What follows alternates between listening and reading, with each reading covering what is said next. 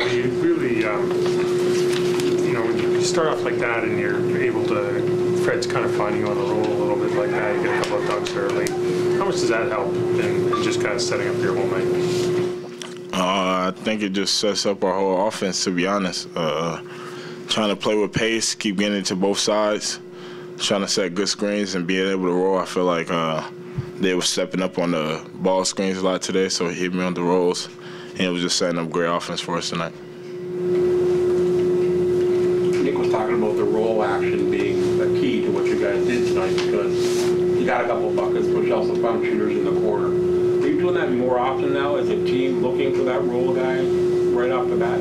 Uh, I think it depends on the games. Uh, sometimes teams play in a deep drop coverage, uh, so when they step up today, it was just open on the rolls to be able to get the rolls.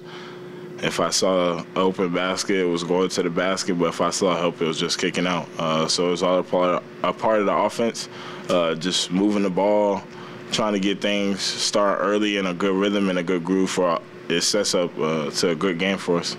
How big has the bench been for you guys over these last three games? Uh, the bench been good. Um, people coming off the bench, being able to produce, uh, playing defense. Uh, I feel like that that's amazing for us. We're gonna need them uh, throughout the season. Uh, it's, they're gonna be a huge key part for us. And related to that, with the strong bench play over these last three, none of the starters have played 40 minutes or more in the last three. Can you feel the difference late in the game? Like, does it feel like you guys kind of have fresher legs? Oh, I don't know how they feel. Uh, I feel my legs feel good. Um, I don't know how they feel, but I, I feel good. This is your first three-game win streak of the season. What's that say about the direction this team's headed? We just got to keep going. Don't settle for less. Take it one game at a time right now. Um, stay hungry. That's what the team mindset is right now. Stay hungry. Appreciate the wins right now, but just stay hungry for more. I think Fred found you three or four times uh, for buckets. What's it What's it like when he's playing sort of that more facilitator role with you guys? Um, just felt like it's part of the offense, really. Uh, we was just moving it. We was all sharing the ball. Uh, everybody get touches, and it's if something's open, I feel like he's gonna make those right plays. I feel like right now we're just being able to move the ball, get it side to side, uh, trying to find those easy points. Uh, so when I'm setting those screens, clearing them off, and they're stepping up, he was finding me on the rolls uh, or the late lobs. Scottie, you haven't been shooting the three very much recently. Is that because there's a bit of an issue with the rhythm with the three ball, or is it this new role that you're in? You just find it kind of there's better shots. Yeah, I'm just really trying to find the best shots. Uh, not I could take those shots anytime I want, but it's just trying to find a good rhythm to the offense. Uh, trying to, like I said, just trying to get it side to side. Uh, I felt like our ball movement wasn't really there, but when I'm playing this role, I, that's what I'm mostly try, primarily trying to focus on, just trying to get the ball side to side, trying to set great screens because we got a lot of great scores and great shooters on this team. So when I set those ball screens and free them up, if they're in a drop or if they're not stepping up, uh, at least the open shots for other people, or when they're stepping up, at least the rolls, or when, whenever I want to, I can be able to pop, shoot it, or just catch and shoot it whenever I want. But it's all about the ball movement for me. Uh, just trying to get it side to side. It looks way better uh, if you watch the games. I feel like we got more. We've been having more assists as well. Uh, so when we get the ball moving, ball popping, it's hard to guard. Uh, getting it three sides, and then it's hard for people to just keep up with that. What's it, what's it goes into the decision whether to pop or roll when you're in the game? Um, I would say it depends on how early it is in, in the shot possession. Uh, the role is going to be there later uh, in the possession, uh, and it's still going to free up the guards no matter what. But early in the possessions, I just depends on what's open, how I feel. Uh, if I feel like it's early in the possession, 18 on the clock, I just want to get it to the other side, keep setting good screens, keep trying to get that ball movement going. Scottie, uh, Precious is kind of working his way back into the rotation. Uh, what did you notice about him, you know, uh, kind of working on his game while he was out, and what have you noticed about him so far just in his first couple games back? Uh, still looking good. Uh, still getting back to trying to get his step back, but he's been looking good. Running transition, playing defense, rebounding, running. Uh, I feel like it's just going to keep coming. Um, as the season goes on. Uh, he made three. Uh, he's gonna he's gonna find the stuff, but he's been playing really well. Keep on being matched up. Yeah, five steals. That's, that's, that's, that's precious right there. Five steals. Five steals. Playing defense. That's good for us. The defensive end, you keep on being matched up with the opposing team's big. How do you feel like you've been progressing in that role and responsibilities that come with that? I feel like I've been getting better at it every single, every time I step on the floor. Uh, Feel like I'm a big guy as well. You know, I got some muscle on me. Uh, so just about playing with some heart, some physicality. Uh, just trying to box them out every single time. Uh, run them on the other end. Um, those are big guys. They don't really like running down in transition, moving their feet like that. So just trying to push the pace. Um, but yeah, uh, that's, that's what I got for him. Let's go. Uh, last two games, you guys have counted, I think, 32 and 30 assists, like you know, well above the season average. What's it like playing out there when the ball's really flying like that? Uh, I think it's good. I think we just we're playing with more pace. Um, just um, playing together. Um, just trusting the next pass and and and just um, I think obviously helps you know when you make a couple of shots. So um, because I think that you know we, we always you know we always play play well off of each other, but sometimes you know it doesn't doesn't um, result into like scoring. I push like you know so. Um, but yeah, I think just continuing to play off of each other and and, and playing with, with a better pace, I would say.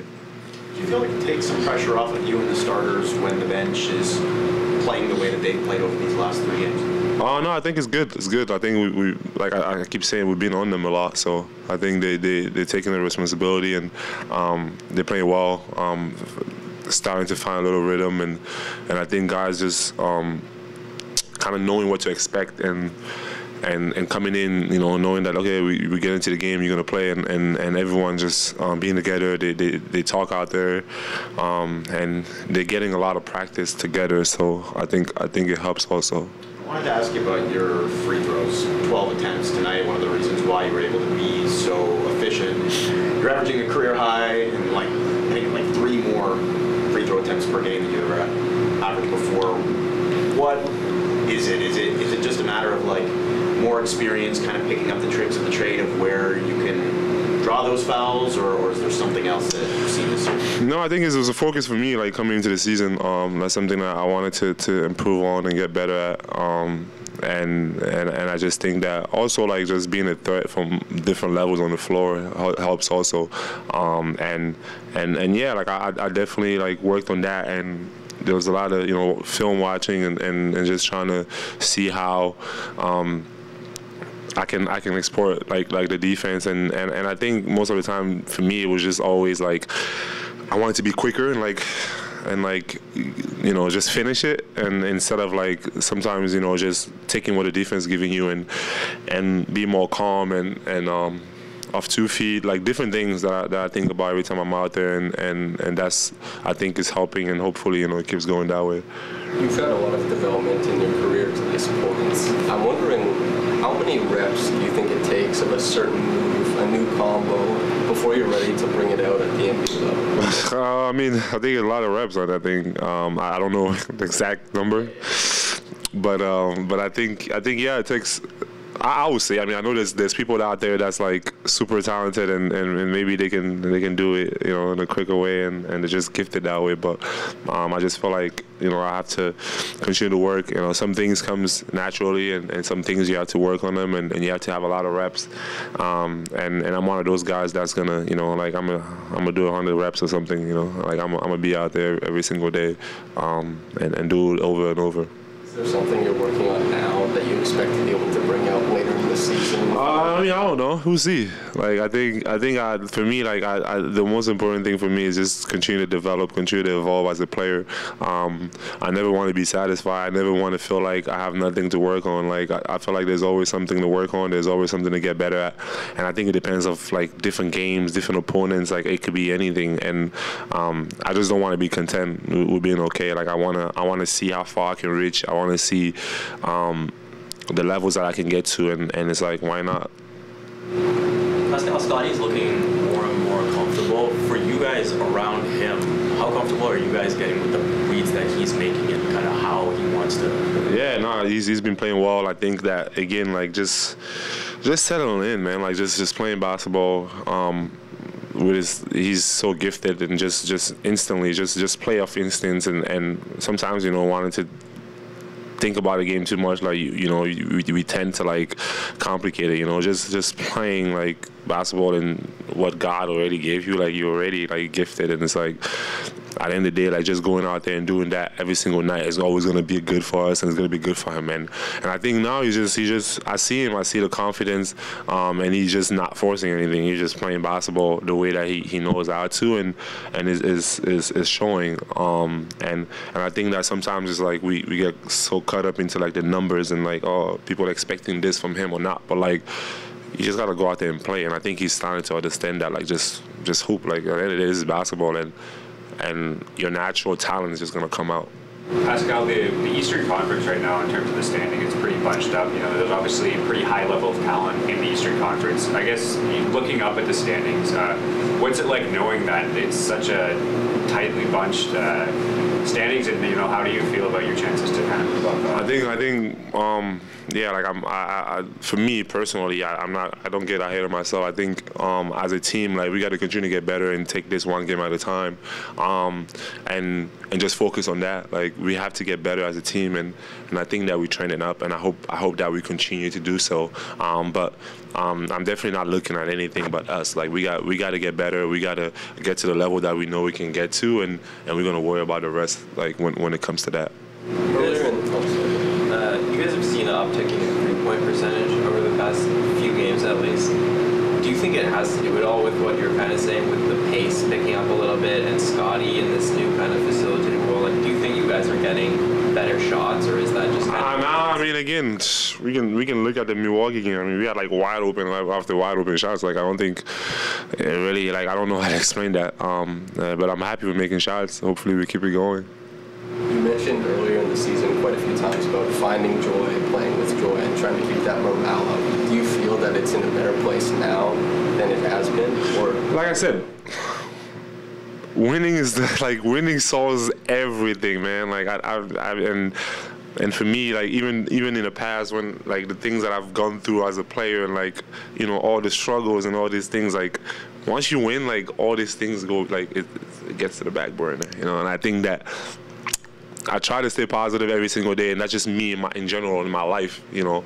But at the same time, like winning, like makes you happy. It makes the team happy. It makes people smile, and and and. that's just what it is. Like we have to win, and and and I think that's going to solve a lot of our problems. In terms of uh, Precious, obviously he's out for an extended stretch of time now. He's kind of working his way back into the rotation. Uh, what kind of elements do you think that he, you know, has brought to the team so far, and you know, what kind of uh, stuff does he still have to bring?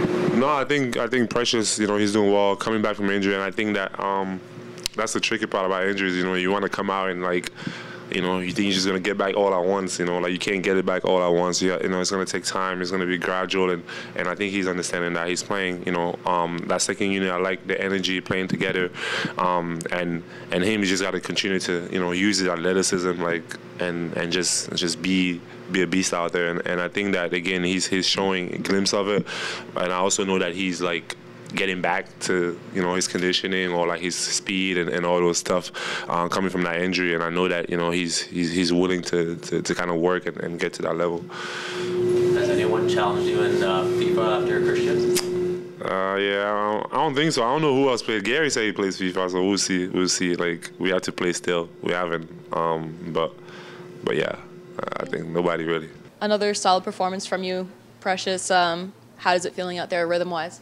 Um, you know, just finding my rhythm. Um, feels good. Um, it's been a really, really long process, but you know, just finding my rhythm every day is just is amazing. And um, so yeah, I just got to keep going, and eventually, you know, I'm gonna be where I'm where I need to be.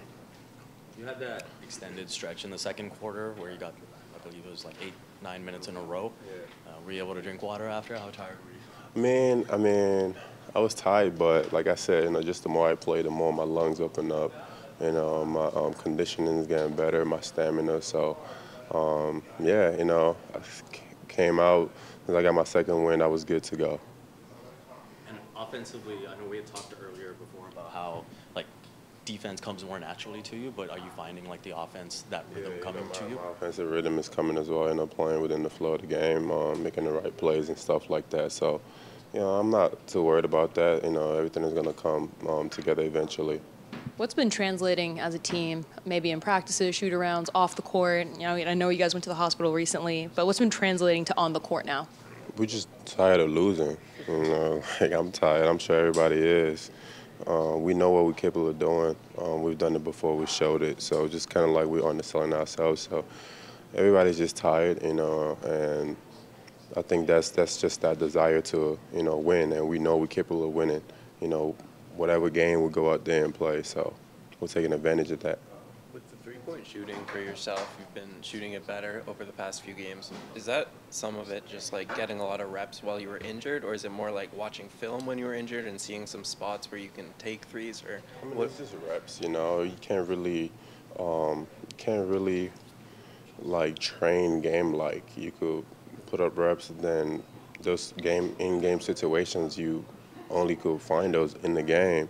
You know, it's just all part of rhythm as well. You know, the more you play, the more you start feeling your legs under you and all that kind of stuff. You know, I'm starting to feel my legs under me, um, and those are shots that I know I'm, I could make. Everybody knows I could make them, so I'm very comfortable taking those shots. As a team, you guys didn't shoot the three ball well for the first half of the season, and it's coming a bit along a bit. Do you think that? I mean, what kind of gives you confidence that as a team? you're gonna shoot better in the second half? Is it just that, like you said, you see everyone putting the reps in in practice yeah, and all that guys are working every day. You know, guys are working every day. Um, we just got to keep doing what we're doing right now. We've shown that we could, you know, play the game at a really, really high level. Um, I think we just got to go out there and continue playing the game at a really high level. Did you know five steals is your career high? Um, no, I didn't. Um, I kind of had a feeling I had a lot of them, um, but I didn't know what number it was. But hey, I take it. I think two was before this. Two? Yeah, no it's like- chance. I swear. I'm a hell of a defender. No chance. I two. agree. That's what Raptors PR tweeted, so you gotta blame them. Yeah, I gotta go check some. Got to give OG some competition over here, eh? I, I mean, nah, I cannot compete with him. that dude, he got sticky fingers. I'm talking about watch your pockets around him. Juancho, um, what's it like being out there right now? You guys are in a three-game win streak. The team looks good right now. I mean, it's good, but we want more. I mean, we know when we're struggling what we need to, to change. Uh, I feel like we're playing for each other more now. Uh, uh, we got long rotations. Everybody feel like like part of it. So that's big time. And one game at a time. Let's go on the next one. You've been described many times as like a Say again? You've been described as a player that's kind of like the glue on this team, where like you can facilitate, you can play defense when needed in pockets and stuff like that. Um, how do you support your teammates and get them going like, on and off the court? I mean, they, we got great basketball players. I mean, they just gotta figure it out and play together, and, and this team is really good. So I'm trying to, uh, I don't know, trying to do my best, try to work out, uh, try to talk with everybody, and you know, when I'm up there, just uh, give my best, give my my energy, and and just try to do who I am. Now, the last time you played the Hawks was in Atlanta. It was that game winner in overtime. Yeah, Um, AJ son. What's been the biggest difference between the team back then that you guys were and the team now? You guys play Atlanta next. I mean, at that time we got a lot of injuries. Uh, we just we just figuring it out how it's gonna be everything, and now we are. I think we are a full team, um, and we want more. So I feel like we're gonna go there um, and be ready for for a, a war. You had 30 more assists tonight. Is that the kind of ball movement and player movement that you sort of envisioned at the start of the year? It's a little light tonight, wasn't it, Doug? 30? 32 the other night, 30 tonight. Yeah, probably should have been 40.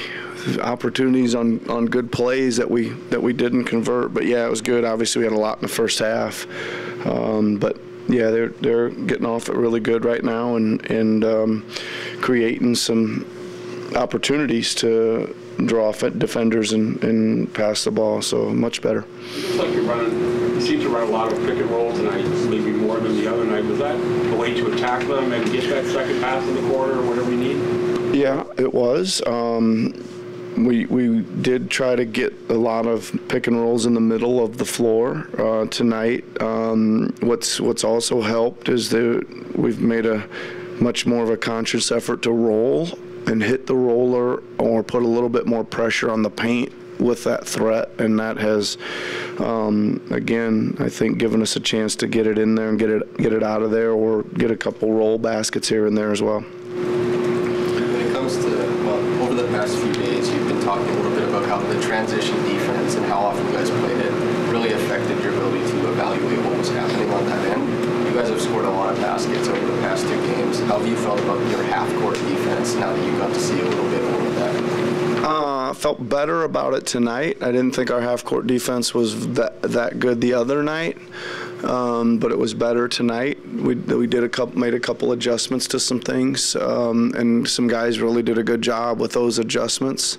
Um, you know, I thought I thought. Uh, we they made a lot of buckets that were you know deep or fairly tough. Even some of the drives they made were. I was fairly happy with where they were shooting some of those drives from and who was contesting. You know, they were they were they were contested pretty good as well. Um, so much it was much better tonight than it was the other night. Yeah. Scottie started off really aggressive, getting to the rim, either for points or for assists. What does it do for your offense when he starts off like that? Yeah, so it does a lot, especially just the way he, he did it with such pace. You know, he did it did it early in the offense and was into the paint and was firing. You know, a lot of a lot of passes out to those guys for for catch and shoot threes, and I think that it really just ignited our pace in general. We had some really, even in the half court, we had some really I would call them pacey type baskets where we were off it to somebody else. The next action happened quickly and with speed, and the roll happened quickly, and we were off it again. And that's you know that's hard to guard when you're when you're playing with that kind of pace. And I think he set the tone for that. Fred was playmaking a ton tonight, but only two three-pointer attempts. Is that just a different role for him? Or I don't. I just think that was the game tonight for him. There was there was uh, some space for him to cross screen and get into the paint, um, and they were you know they were closing down the paint pretty pretty hard. So he had, you know the, the the best play was was out, and I don't think they were leaving him much on the perimeter. I don't I don't didn't see that many opportunities for him from three tonight that, that normally, but that's okay. I think he, he played it well, and there was lots of them for other guys. Um, I, I liked the way he played tonight a lot, yeah. Coach, this is your first uh, three-game win streak of the season. What's that say about the direction your team's headed in? Well, listen, we're trying to make some progress here. I, I think we are. I think I think that um, you know there's there's a good sign with some shots going in. There's some good sign with high number of assists. Um, there's some there's some little bit more life off the bench. You know, there's some good signs there for sure. Precious uh, was able to pick up five steals tonight. Um, you know, what do you think? Uh, one was the key to that, and two, uh, you know, how do you feel like he was able to, you know, stay involved in the team's schemes and learning everything while he was out for such an extended period of time? Uh, he's done pretty good. I think he's, you know, he's getting closer just to back to getting some kind of rhythm. Um, I think that group was long and active, and, and they got their hands on a lot of them. It was another one of those games where we must have tipped eight other balls that were floating around that we didn't recover, right? And it always bums me out. Like when we like when we're really playing good defense and we tip it three times and they still end up with it somehow. Um, but that just shows, you know, they were getting their hands. I think there was a stretch for that group. I think they turned them over five straight times to start the second, right? So that's that's awesome. Uh, I really liked um, the way Precious took the ball to the basket. He didn't get a ton out of it, but that will come. I mean, you know, he, he got one maybe dunk. He got one where he got clobbered. He got another one where he got clobbered. Um, but I like it. If he keeps going in there, he's going to get rewarded and get a dunk or get to the free throw line a little bit, I think. But I like the aggressiveness. That's we were right. talking about getting him those extended stretches. I think it was eight and nine minutes Yep. or something like that tonight. Yep. I, I know you'd like to get the number up a bit higher eventually, but We're getting there. Yeah, we're getting there. I mean, we, we let him run, uh, pat, you know, kind of with the starters, I think two different stretches in both the second and the fourth, and that's, that's where we're heading with that. So it was good to inch forward a little bit there.